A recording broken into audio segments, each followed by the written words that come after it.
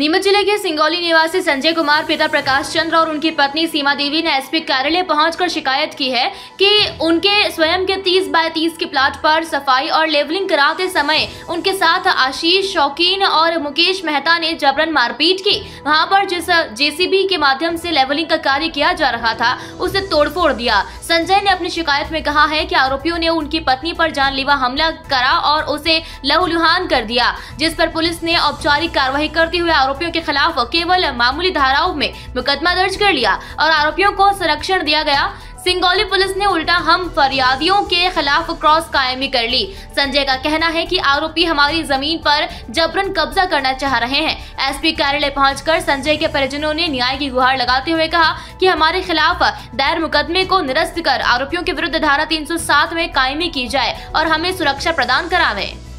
मेहता मेरा नाम है और मेरी जो एक भूखंड की लड़ाई है, जो दिवाली के एक दिन पहले एक घटना हुई मेरी पत्नी के साथ और मेरे साथ इतनी भयंकर मारपीट हुई कि हम जान से मारने तक की नौबत आ गई।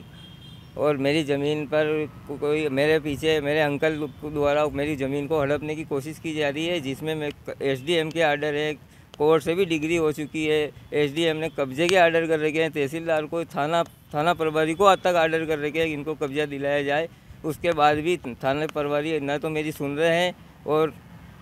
उन्होंने अभी भी इस मामले में जो खून बहा है, जो मेरी पत्नी के साथ मारपीट हुई है, उस मामले में भी उन्होंने कोई कार्रवाई नहीं की, जबकि और हमारे ऊपर क्रास कायमी कर दी, नॉर्मल धाराएँ लगा दी और हमारी जेसीबी से हम वहाँ सफ़ाई कर रहे थे, हमारा प्लाट था, हम सफ़ाई कर रहे थे तो उसमें जेसीबी को ही जब्त कर लिया और जेसीबी को ही नहीं छोड़ रहे हैं वो, उसके लिए ही पैसे मांग रहे हैं और हमारे को काफ़ी परेशान किया जा रहा है। इसीलिए हम एसपी साहब के पास आए हैं, निवेदन करने कि ये कार्रवाई थाने से 307 की कार्रवाई कराई जाए क्योंकि मेरी मिसेज नीमच अस्पताल में नीमच रेफ़र किया गया उसके सर पर इतनी गहरी चोट आई उसका खून बह गया बेहोश हो गई वहाँ से फिर नीमच रेफ़र किया गया चोटी पकड़ के खींचा गया उसको और काफ़ी मुश्किल से हम जान बचाकर थाने पहुँचे तो भी थाने वालों ने हमारे साथ कोई सही साठ कार्रवाई नहीं की है इसलिए हम एसपी साहब को ज्ञापन देने आए हैं निवेदन करने आए हैं कि हमारे ऊपर जो कायमी की गई है उसको खात्मा किया जाए और हमारे पट्टे की भूमि हमें दिलाई जाए और तीन सौ सात की कार्रवाई की जाए।